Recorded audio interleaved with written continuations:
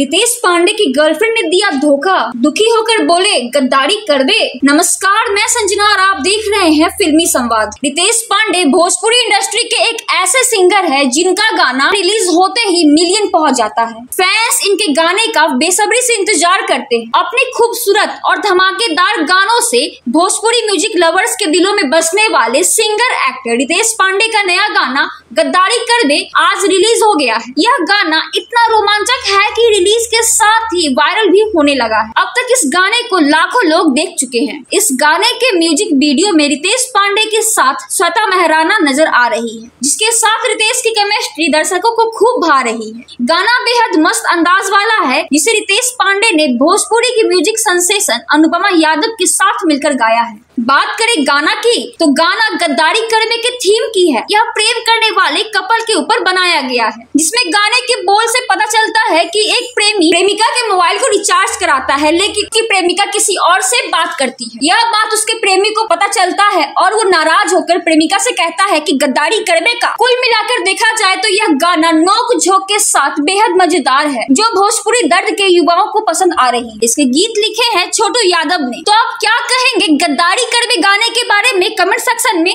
ज़रूर बताए और देखते रहे फिल्मी संवाद। मैं थी संजना, धन्यवाद।